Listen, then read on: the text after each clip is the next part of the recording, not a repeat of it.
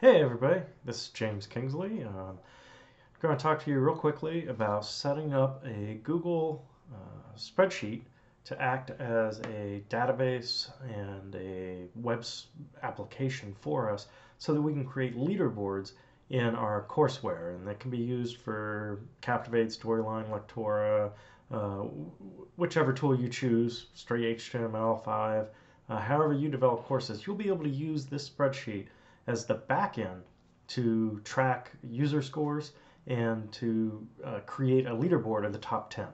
Um, I've done most of the work for you. This is just going to walk you through setting it up. We'll get into some of the finer details later. So uh, for those of you that don't know, um, Google has uh, something they call AppScript, which is a lot like JavaScript, and it can be used for a lot of their platforms. Uh, we're looking at Google Sheets, but you can use it for Google Docs and uh, Google Maps and Google Forms and all kinds of other uh, of their applications. Like I said, it's a lot like JavaScript, and so we're going to use it to set up our spreadsheet as a, a, a, leaderboard sort of database for us and turn that spreadsheet into a web app. So I'm going to get started. I'm logged into Google already and I have my Google Drive open. So now I'm going to create a new Google Sheet. And that takes just a minute to, to fire up.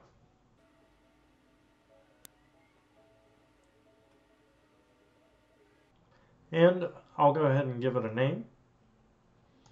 So let's say this is for my uh, game 4. And you see that it automatically saves uh, everything for you in Google already. Um, really, that's all we need to do to the spreadsheet at this time because my code is going to do the rest for us. So let's take a look at how to add that code to it. We're going to go to Tools, Script Editor. And that's going to open up the Google Apps Script uh, editing environment. And this is where you can create all your code for Google Apps. Uh, you see it, it fills in a default function there. Uh, we're not going to need that, so I'm going to go ahead and delete that. And what I do have is I have uh, the Google App script that's already written out, and this will be in the, the package that you download from the blog post where this uh, will be hosted.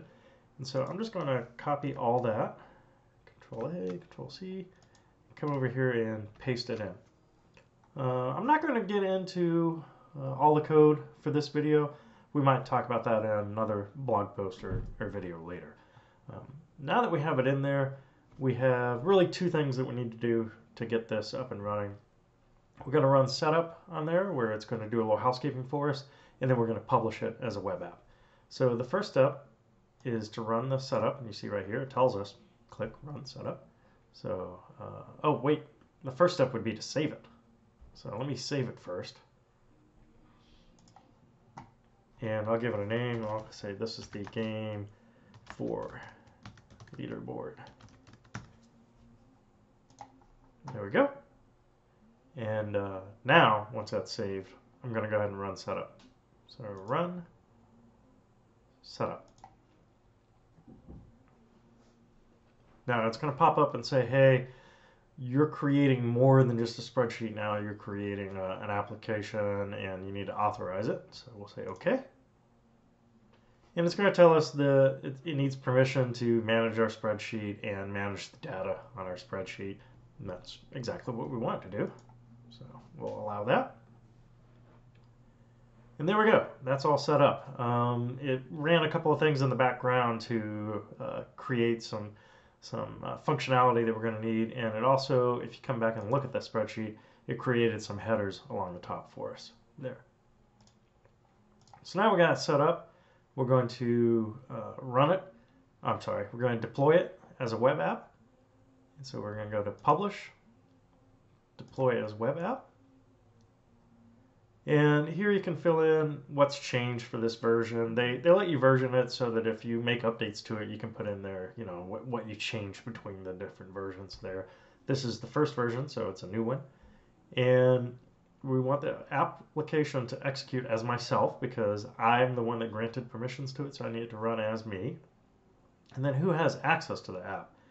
And it's not going to do us any good if I'm the only person that has access to it.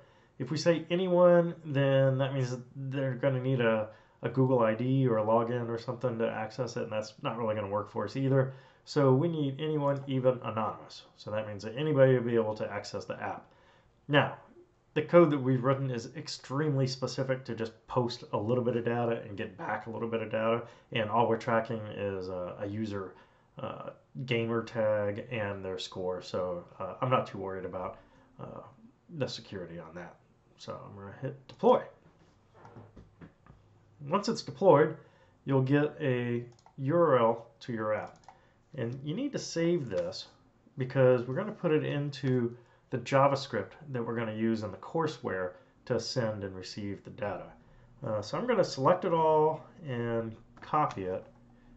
Then I'm going to go ahead and come over to my JavaScript, and this will be in the package that you download as well. And I'll paste it in here just before I forget.